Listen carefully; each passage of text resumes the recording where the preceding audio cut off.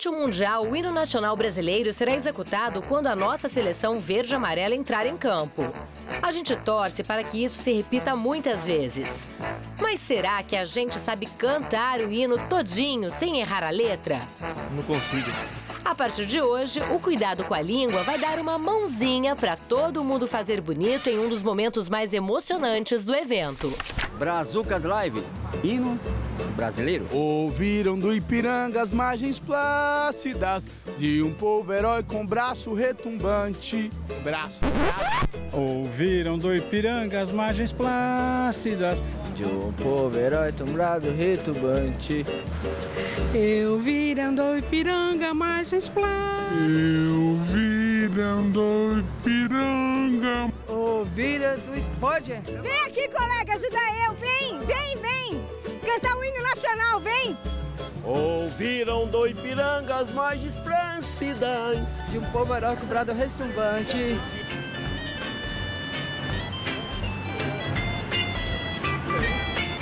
Não consigo. Ouviram do Ipiranga as margens plácidas de um povo heróico, bravo, returbante.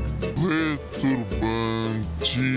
Ouviram do Ipiranga margens praças, brilhou no céu da prata nesse instante. O sol da liberdade, raio fujo, brilhou no céu da prata nesse instante. Brasil, é nós. Ouviram do Ipiranga as margens plácidas de um povo heróico. Ei, ei, moço, errei. Ouviram dos pirangas margens plácidas de um povo herói o brado retumbante. Ouviram do Ipiranga as margens plácidas de um povo heróico brado retumbante. Ah, você quer cantar alto? Ai, mas eu vou passar vergonha.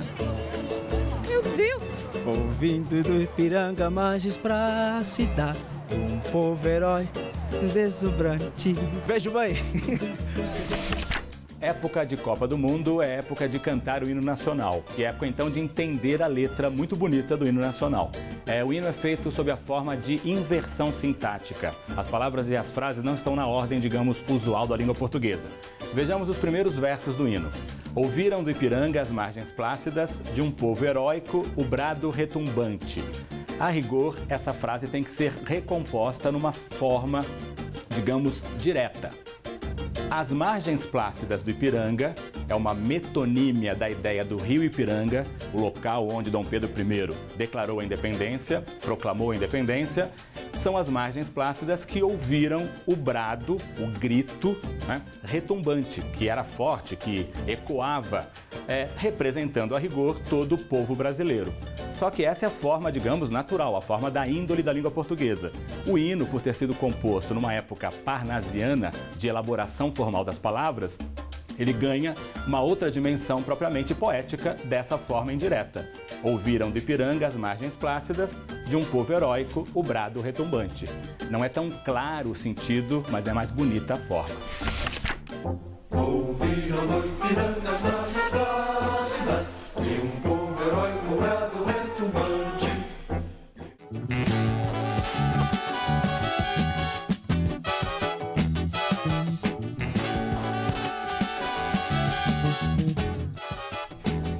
aí, a edição especial do nosso hino nacional está só começando. Lembrando que essa foi só a primeira de 10 etapas que a gente vai ter, explicando tintim por tintim o que significa o hino nacional, para que todo mundo aprenda a cantar direitinho, sabendo qual é o significado, que é o mais importante, né, gente?